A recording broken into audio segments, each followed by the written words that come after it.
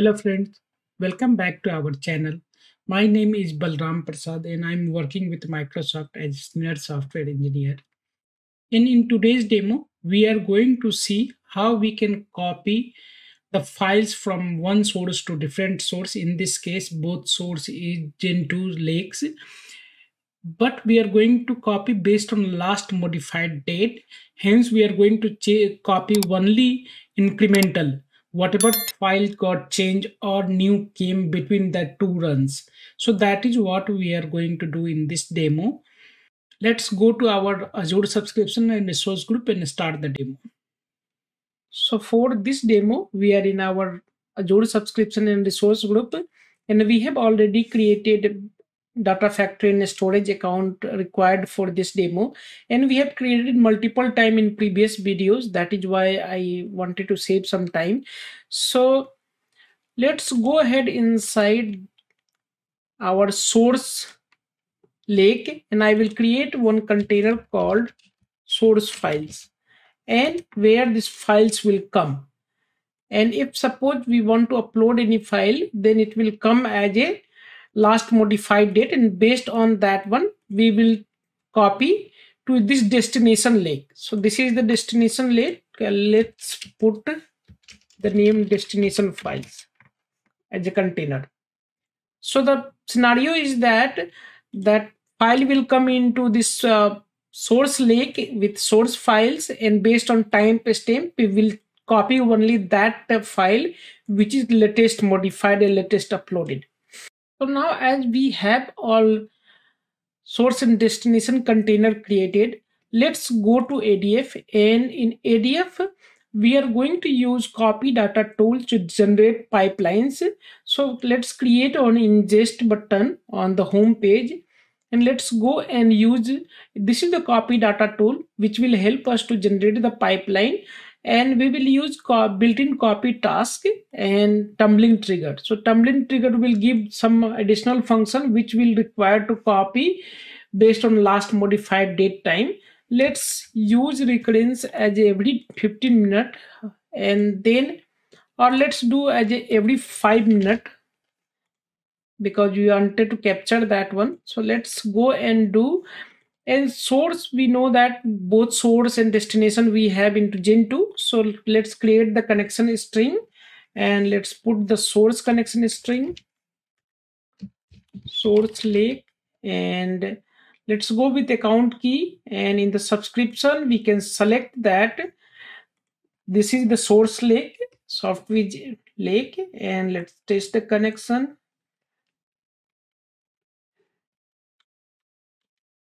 now we have to provide the path. So let's go and select the path. We can select our container root folder. And now in option if we see what is the uh, file loading behavior load all files or load based on last modified or time partition file folder. So let's select that last modified date and we will do the binary copy. So we are going to read as a binary. We are not going to ins inside this one because we do not care about schema definition and other things. So we will copy the binary one and we will not use any comparison type right now. So we will use that one and we will go next.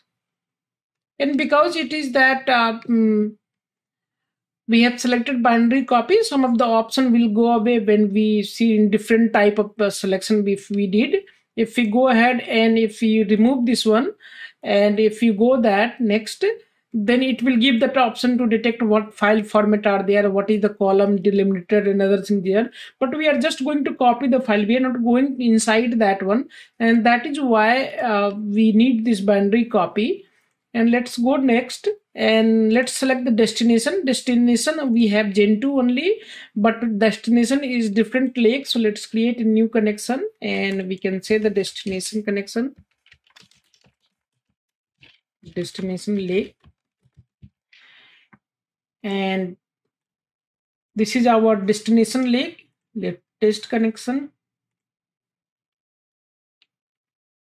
And this we want to do based on where. So let's go and in destination file we want to do right? And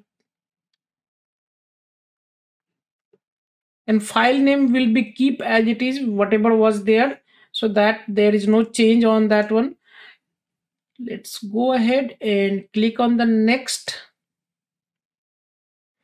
Now let's put the name copy pipeline. The pipeline paste must modified. Okay and let's go in next. And this is that how the pipeline and other things will look like. So let's it is validating all the things whatever we have given.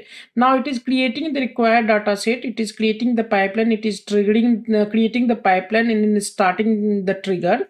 All it is done so now let's finish this one. And if we go inside our pipeline tab one pipeline has created and whatever name we have given inside copy data activity. And if we go into source section whatever we have created the source if you notice this one this is coming where pipeline parameter window start and pipeline parameter window end is coming and if we go into the source data set we know that this is our source leg connection string we created. There is nothing new. In the sink if we go we know that this is the, our sink leg we have created. And measure this is that um, thing which is being used filter by last modified date and wildcard is star.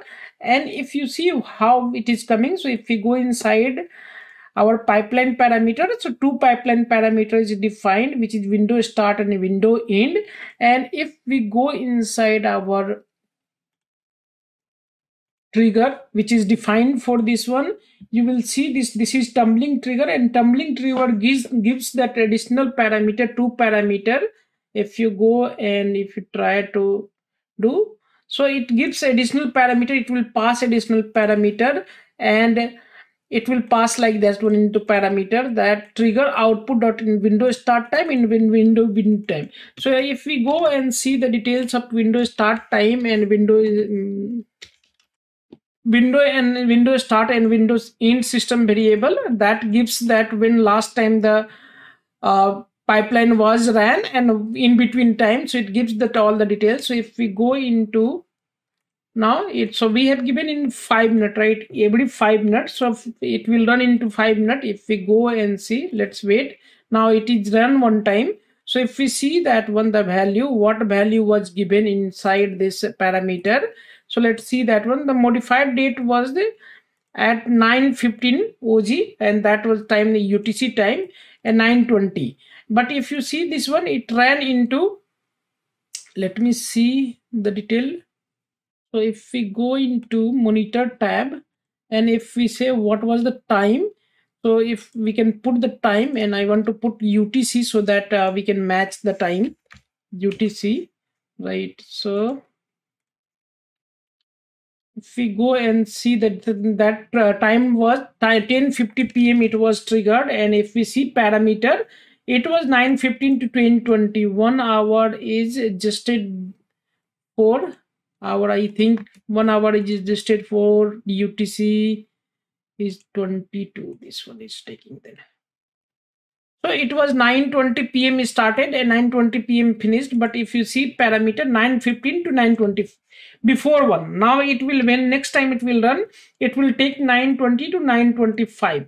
So right now, if you see uh, and go back to our, there is no file inside our source and there is no file inside destination let's go back and in that softwiz data lake in source file let's upload some data some files over there. So let's go ahead and upload one file quickly.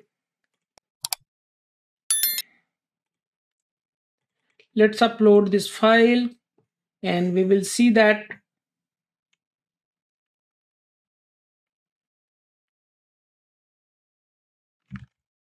so now one file is uploaded uh, in there is not nothing into destination. Let's go into source and see one file is there. Now when next time it is going to run it is going to push one file over there and we will see. And then in next time we will upload one more file and see that only one file is being copied. So if we go inside this one this activity and if we see right now there is no file written. So let's let's check the next time how it, it is happening So now second is also succeeded. And if you see the time window here in 9:25 p.m. but if you see parameter it was given 920 to 925 so file, whatever file came between this 920 to 925 should be copied. And if we go inside the details we see that one file has been written right? And if you see the time stamp of this file and time stamp in utc only once again in different time.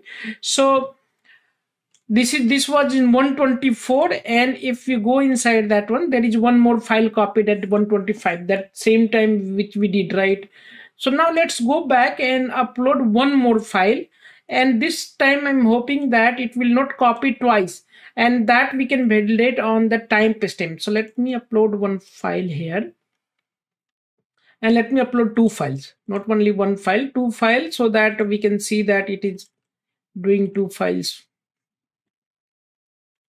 so now we have uploaded two files and if we see that in source, we have two files now and in destination right now we have only one file. So next run will copy two files from this one. So let's see that one. Now it is running again and we see that this is in progress and it, this is completed now. And if you see this time window is 925 to 930 and if we go inside this detail. And if you see two files has been picked and two file has been done. And if we go into this one so right now if you notice that 125 uh, 17 am was there. Let me refresh that one. So it did not override anything. It copied two new files. So that is what i wanted to display in this demo that how we can copy only new file. So this is how that incremental data load happens based on last modified date Thank you.